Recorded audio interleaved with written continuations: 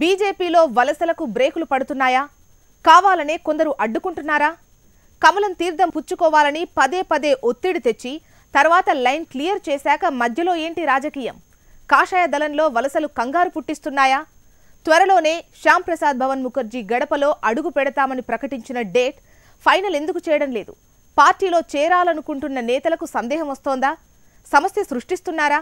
ముందుగా బీజేపీ తీర్థం పుచ్చుకున్న నేతలే వలసలకు బ్రేకులు వేస్తున్నారా? గాంధీ భవన్పై శ్యామ్ ప్రసాద్ ముఖర్జీ భవన్ ఏమంటోంది?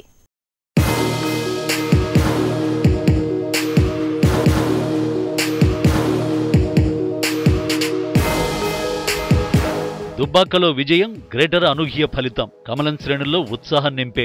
రెండు చోట్ల ఊహించని విధంగా కంటే కూడా మెరుగైన ఫలితాలు రావడంతో వలసలు కూడా ఊపందుకున్నాయి. టీఆర్ఎస్ కాంగ్రెస్ నుంచి పెద్ద పెద్ద తలకాయలు కూడా కమలం తీర్థం పుచ్చుకోవడంతో చోటామోటా నాయకులు కూడా క్యూ కట్టారు. అలా తెలంగాణ బీజేపీలోకి వలసల కోసం ఇతర పార్టీల నేతలంతా విశ్వ ప్రయత్నాలు చేస్తూనే ఉన్నారు. ఇటీవల జరిగిన గ్రేటర్ ఎన్నికల తర్వాత కాంగ్రెస్ పార్టీలో నివురుగప్పిన నిప్పులా ఉన్న అసంతృప్త నేతలను సెలెక్ట్ చేసుకుని మరీ బీజేపీ కండువ కప్పించారు.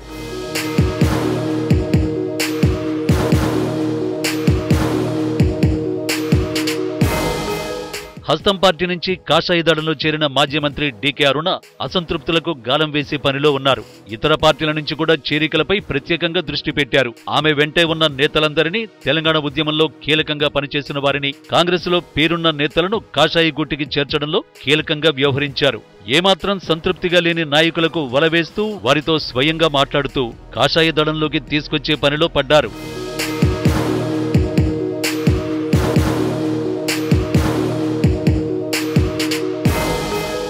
ఇదంతా బాగానే ఉన్నా ఇటీవల మాజీ మంత్రి ఏ చంద్రశేఖర్ కాంగ్రెస్ పార్టీ వీడుతారని త్వరలోనే కమలం తీర్థం తీసుకునేందుకు సుముఖత చూపుతున్నారన్న ప్రచారం జరిగింది. ఆ తర్వాత పార్టీ జాతీయ ఉపాధ్యక్షురాలు డీకే అరుణ ఆయన ఇంటికి వెళ్ళి మరీ మాట్లాడారు. చంద్రశేఖర్ను కాషాయ గూటికి చేర్చడానికి ఒప్పించారన్న చర్చ కూడా నడిచింది. చంద్రశేఖర్ కూడా వికారాబాద్లో కార్యకర్తల మీటింగ్ నిర్వహించి త్వరలో బీజేపీలో చేరుదామని ప్రకటించారు. లైన్ అంతా క్లియర్ అయిన తర్వాత కమల నుంచి క్లారిటీ రావడం లేదట. చంద్రశేఖర్ను అసలు చేర్చుకుందామా లేదా అన్న విషయం గా చెప్పడం లేదట.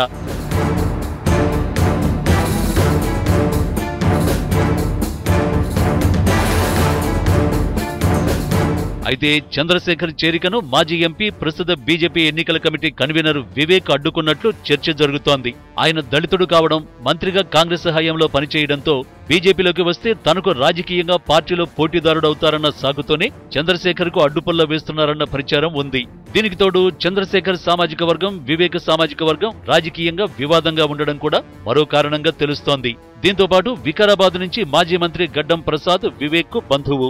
ఇక్కడ లాజిక్ ఉంది. ప్రసాద్ను కాకుండా చంద్రశేఖర్ను బీజేపీలోకి ఆహ్వానిస్తే ప్రసాద్ రాజకీయ భవిష్యత్తులో ఇబ్బంది అవుతుందన్న భావనతో వివేక్ ఉన్నట్టు వినికిడి. ఇదంతా తన చేతికి మట్టి అంటకుండా పార్టీ అధ్యక్షుడు బండి సంజయ్తో తెర వెనుక మంత్రాంగం నడిపిస్తున్నారని కార్యకర్తలు గుసగుసలాడుకుంటున్నారు.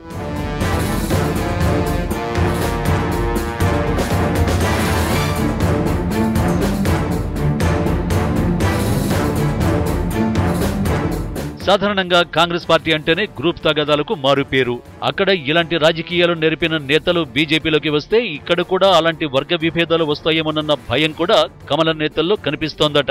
ఇలాంటి సమయంలో బీజేపీ సీనియర్లు సమన్వయం పాటించాలని ఎవరి ప్రాధాన్యతను వారికిచ్చి కొత్త వివాదాలు రాకుండా చూసుకోవాలని శ్రేణులు కోరుతున్నాయి. మరి ఈ పరిస్థితుల్లో కమలం పార్టీ నేతలు ఎలాంటి నిర్ణయం తీసుకుంటారో చూడాలి.